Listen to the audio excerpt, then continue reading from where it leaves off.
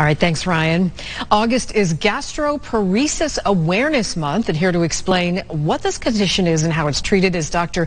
Mayra Sanchez, Medical Co-Director of the Hartford Healthcare Neurogastroenterology and Motility Center. Good afternoon, Dr. Sanchez. Thanks for joining us. Thank you for the invitation. Um, gastroparesis is a condition when the emptying of the stomach to the small bowel is compromised or is delayed. Um, and in the presence of no obstruction. Um, it's most common in patients that have diabetes mellitus or has some surgery. Also, in, uh, it can it can present to some, some medications like narcotics or antipsychotics. All right, tell us what are some of the causes of this condition. Some of the causes could be, as I say, diabetes mellitus or um, esophageal or gastric surgery um, also secondary to medications like narcotics and sometimes we don't know the cause. Um, um, what are some of the symptoms that people should look out for and know that they might need to seek medical treatment?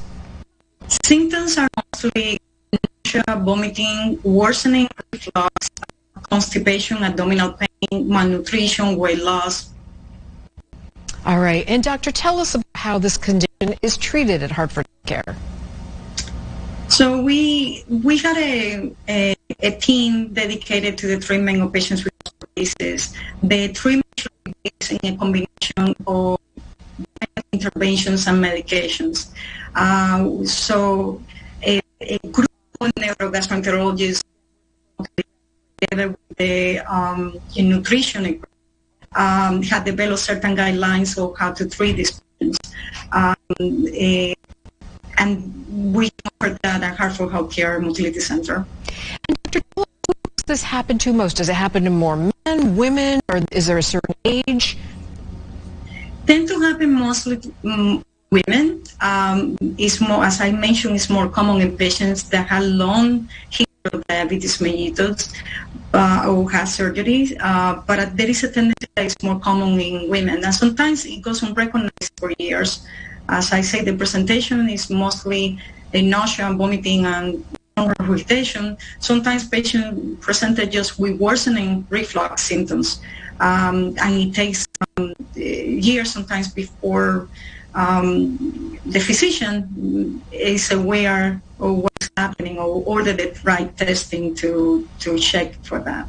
And when should someone know when to seek treatment? When over-the-counter medicine doesn't work, or what? What should people know? Patient that had nausea and vomiting that cannot be explained or worsening reflux should look for medical care. Um, this is not a condition that should be treated with over-the-counter medications. Um, is um, is you're having daily nausea or weekly nausea and vomiting episodes more than you know more than once a week or even once a month, you should be considering um, looking for the help of the, your physician or your gastroenterologist. All right, Dr. Mayra Sanchez, thank you so much for your insight. You're welcome. Thank you.